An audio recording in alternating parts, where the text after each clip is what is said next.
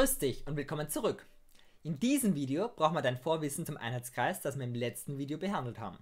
Bis jetzt wissen wir ja nur, wie die Winkelfunktionen in rechtwinkligen Dreiecken definiert sind.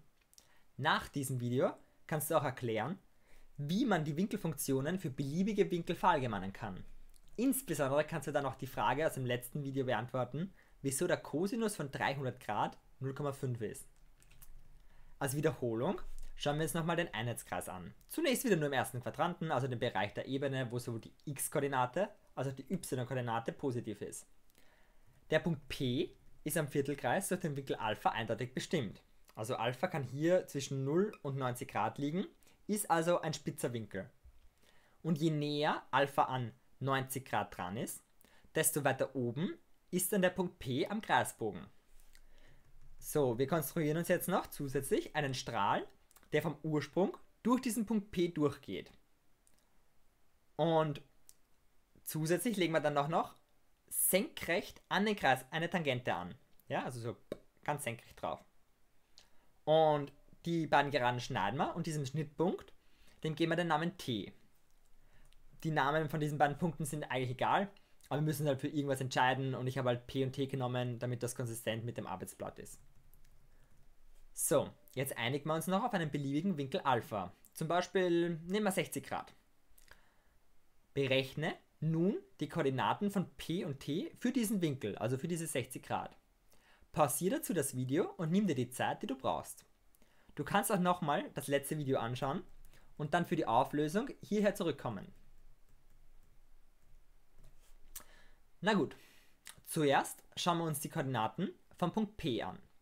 Wir wissen ja bereits, dass seine x-Koordinate dem Cosinus von Alpha entspricht und seine y-Koordinate dem Sinus. Ist Alpha also 60 Grad, so ergibt sich dann für xp gleich 0,5 und für yp gleich 0,866 oder so. Die x-Koordinate von t ist immer 1, ja? t liegt ja auf einer senkrechten Geraden. Das heißt, die x-Koordinate ändert sich nicht. Die y-Koordinate aber entspricht dem Tangens von Alpha. Und wenn ich das eingehe, dann kommt mir da ca. 1,732 raus. So, schauen wir uns jetzt die Sache für größere Winkel an. Weil bis jetzt haben wir die Winkelfunktionen ja nur in rechtwinkligen Dreiecken definiert. Aber wir können ja recht, ein rechtwinkliges Dreieck nicht zeichnen, bei dem ein Winkel größer als 90 Grad ist. Das geht sich mit der Winkelsumme von 180 Grad einfach nicht aus, gell? Also, stellen wir folgende Überlegung an. Wird Alpha größer als 90 Grad, so tritt der Punkt P zunächst in den zweiten Quadranten ein, dann in den dritten und dann in den vierten. Erinnere dich dran, dass die Quadranten gegen den Uhrzeigersinn gezählt werden. Das entspricht auch der natürlichen Wanderung von diesem Punkt P, wenn der Winkel Alpha immer größer wird. Wir nennen das übrigens auch die mathematisch positive Richtung. So, und was wir jetzt machen ist, wir drehen diesen Spieß um. Das heißt, diese Eigenschaft aus dem ersten Quadranten, dass die Koordinaten von P dem Sinus bzw. dem Cosinus von Alpha entsprechen, diese Eigenschaft, die nehmen wir jetzt her und verwenden sie als Definition für alle anderen Quadranten auch. Schauen wir uns zum Beispiel einen Winkel von 140 Grad an. Der Punkt P ist dann im zweiten Quadranten. Das heißt, dass die x-Koordinate negativ ist. Berechne nun den Sinus und den Cosinus von 140 Grad mit dem Taschenrechner. Du hast wieder ca. so 3 Sekunden Zeit, um das Video zu pausieren.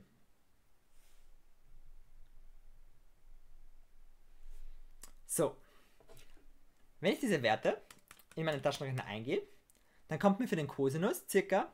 minus 0,766 heraus und für den Sinus ca. 0,643.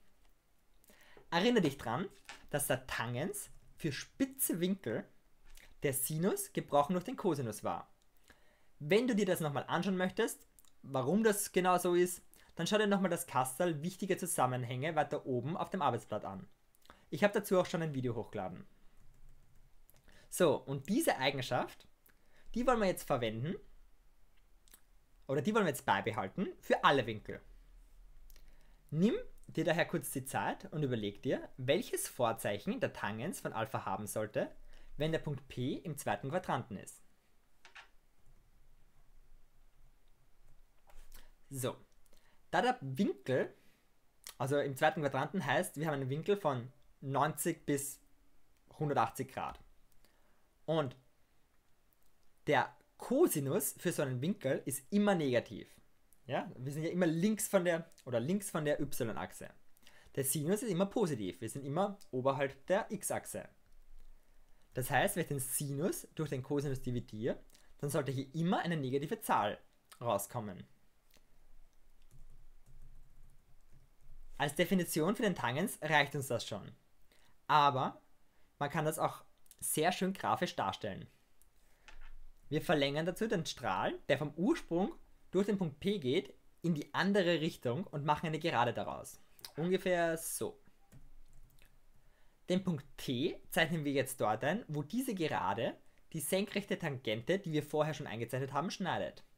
Ganz wichtig, diese Tangente ist immer rechts vom Einheitskreis, ja? Der Punkt T kann also nie im zweiten oder im dritten Quadranten liegen. Der Tangens von Alpha entspricht dann weiterhin genau dieser y-Koordinate von diesem Punkt T. So, jetzt blätter mal auf die nächste Seite. Da geht das Kassel nämlich weiter. Und nimm dir jetzt Zeit, um diese Tabelle da auszufüllen. Für die Spalten, äh, für den ersten, den zweiten, den dritten und den vierten Quadranten reicht's, wenn du ein Plus für die positiven Ergebnisse und ein Minus für die negativen Ergebnisse eintragst. Für die Spalten, in denen aber ein konkreter Winkel gegeben ist, überleg dir den genauen Wert. Am besten verwendest du da keinen Taschenrechner. Ja? Also überleg dir auch, wieso zwei Kastel ausgegraut sind. Wie immer kannst du das Video pausieren, wenn du mehr Zeit benötigst. Na gut, schauen wir uns zuerst den ersten Quadranten an. Hier sind alle drei Winkelfunktionen positiv. Im zweiten Quadranten bleibt der Sinus positiv, der Cosinus und der Tangens sind aber hier negativ. Im dritten Quadranten wird auch der Sinus negativ, der Cosinus bleibt negativ, der Tangens wird aber positiv. Und zu guter Letzt, im vierten Quadranten, ist der Sinus wieder negativ, der Cosinus jetzt allerdings positiv und der Tangens wieder negativ. So, jetzt schauen wir uns noch die Werte für die konkreten Winkel an. Zuerst bei, bei Alpha ist gleich 0 Grad. Ist Alpha gleich 0 Grad, so liegen P und T gemeinsam auf der x-Achse. Die x-Koordinate ist daher 1 und die y-Koordinate ist 0. Also die Punkte liegen direkt übereinander.